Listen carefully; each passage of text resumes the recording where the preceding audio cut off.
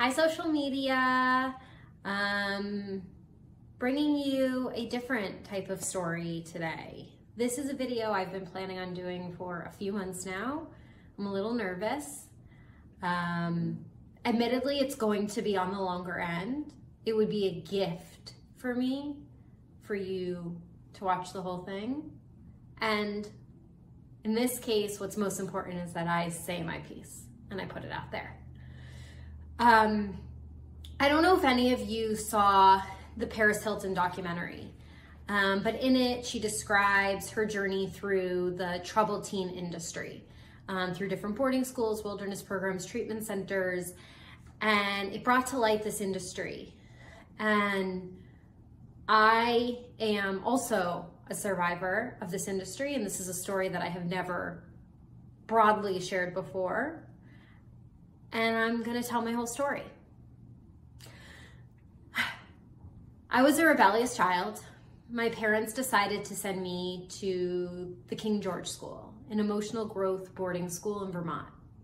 It was a CEDU school. CEDU was a company founded by members of the cult Synanon, who owned and operated several therapeutic boarding schools and behavioral modification programs.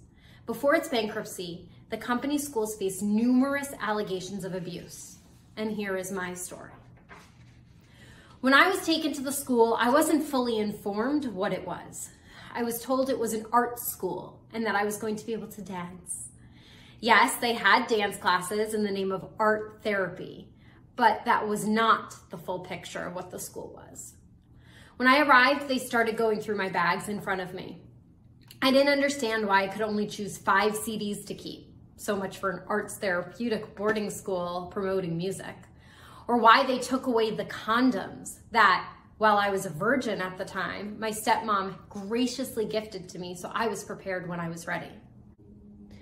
I was then strip searched naked and had to jump up and down and cough before being allowed in any other building. The first few days, when kids asked me, Why are you here? I answered, For school. I literally had to figure out what this school was all about by putting the pieces together. I've blocked out so many memories from the experience and I wish I could bring them back to fully paint the picture of my life there. Maybe from continuing to do this work, they will come back, for better or for worse. The biggest trauma from the high school was simply having my basic rights taken away in little ways on a daily basis absolutely no physical touch was allowed. So either we were deprived of that need or we'd sneak into the cubby room and have a third watch out for us. All phone calls to parents were listened to and monitored by staff, so we felt like prisoners who could not speak out against our experience. There were no phone calls allowed to friends. All incoming and outgoing mail was read, and any information negative about the school, in outgoing mail or triggering to us in incoming mail was blacked out. I received pieces of mail from friends where I could only see their intro and sign off. Everything else was blacked out. Not that I looked down on my friends that I made at that school at all, but it was very traumatic when my closest high school friends would casually tell stories about sleeping around for drug money when I hadn't even drank alcohol it was normal to be sitting in class and just seeing someone run down the hall screaming and banging her head against the wall or threatening to self-mutilate. The students at the school ranged from my parents don't really know how to parent to drug addicts to serious mental health disorders. And to be clear, none of our staff had therapeutic or social work credentials or even backgrounds. It was just the highest paying job in town to make this clear, one of our biggest activities was called RAPS. Twice daily, we would sit in a circle and talk about what was going on at the school. Mostly it was to call people out for not staying in code.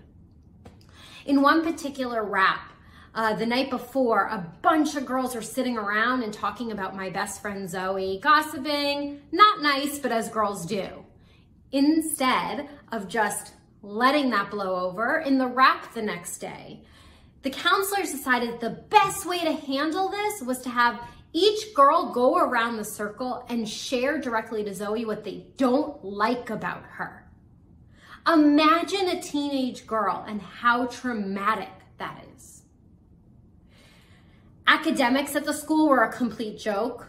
The dance program that I was there for, complete joke.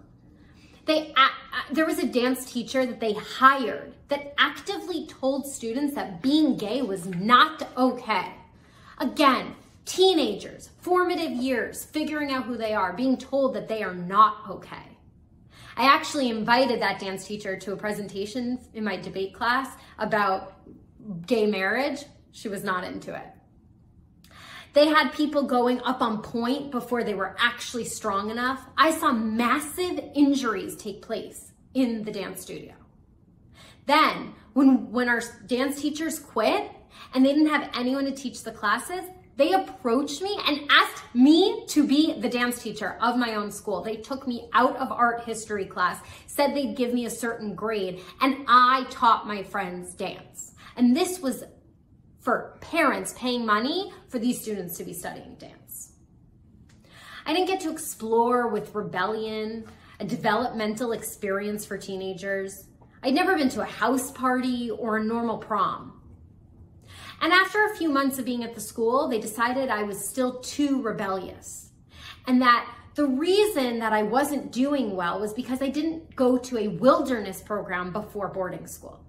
They told my parents that the only way they would allow me to stay at the school was if I left, went to wilderness program, and then came back. But of course, what wilderness program were they pushing on my parents? Ascent. Also a CEDU school owned by the same company as my high school. You will see in an upcoming documentary, Teens for Profit, how all of this money is wrapped up with each other. It's sick. The worst was when I went to Wilderness. At the program, I was physically and emotionally abused. We did an exercise one day where we had to present to our group every bad thing that we had done and every major trauma or milestone that we went through. I presented my life story and then was asked to step outside. While I was outside, my group discussed my presentation, and when I returned, they told me that together they decided I had not shared enough and I was to be punished. I was literally punished because I did not have the same kind of stories that they did. What was my punishment? I was forced to wear an orange vest all day. I was forced to sleep outside, not in a tent. I was not allowed to talk to any person other than staff members for two weeks. My group could sit together during meals and breaks and talk, and I had to sit separate. I had to always be last in line and last to be served a meal. On Christmas, after hiking for two weeks in the wilderness, we stopped at a lodge and they gave everyone a special meal inside with a fire. But I was forced to sit outside on the front porch listening to everyone giggle and having this special night.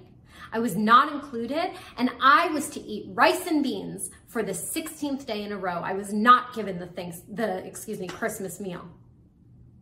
On one day, when we were hiking, I had peed my pants while snowshoeing because I was not allowed to go to the bathroom. The control of our bladder and bowel movements was a thing that they did often.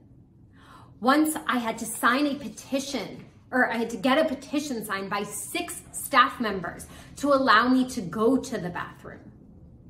Anyway, on this particular day, when we got to the campsite, I wanted to quickly set up my tent so I could change. They told me I had not drank enough water that day and I could not set up my tent until I had done so. They forced me to chug four full Nalgene water bottles in front of them. It was too much water for my body to handle and I began to puke. They told me I had to keep drinking if I wanted to set up my tent.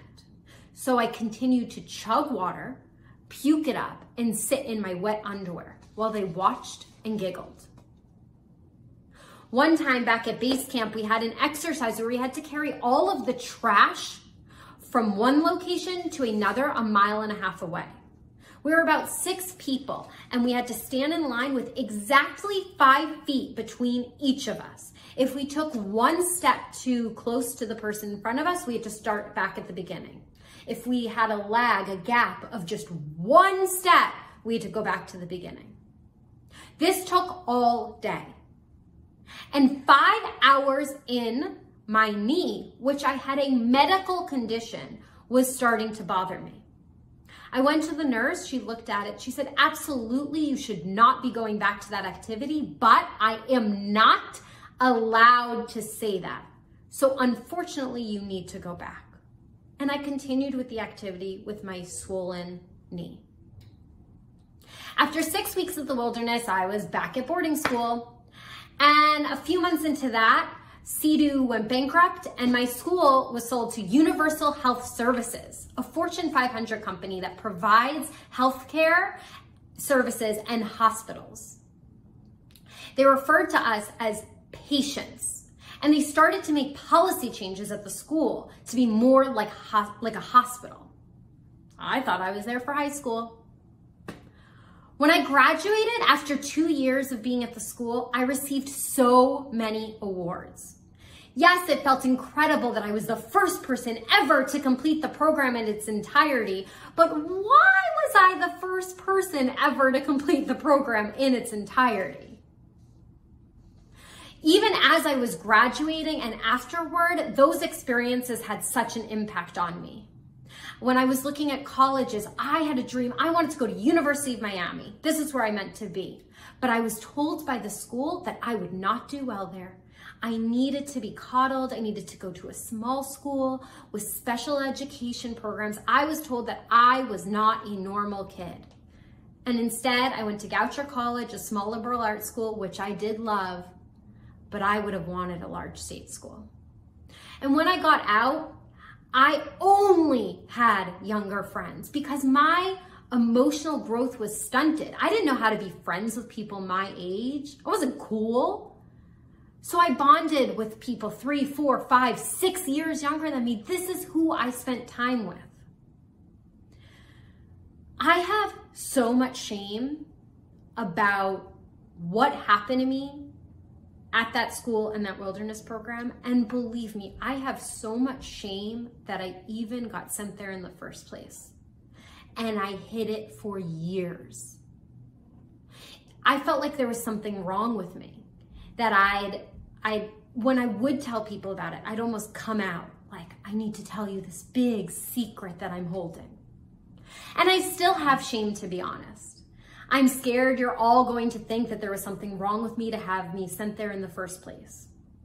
But really, that's because that's the story I've held on to for so long, that there's something wrong with me. I have spent years trying to break that story, and I am getting there. The Breaking Code Silence movement has pushed me and given me permission to, to start this story, to share my story in a way that I have never done before. And it's so clear that now I need to speak up. As Breaking Code Silence always asks survivors, what did the programs give you? My programs gave me anxiety, OCD, abandonment issues, PTSD, self-doubt, a scarcity context, nightmares, attachment issues, and codependence. Even if I was the most messed up kid in the world, no child, no matter what, deserves that abuse.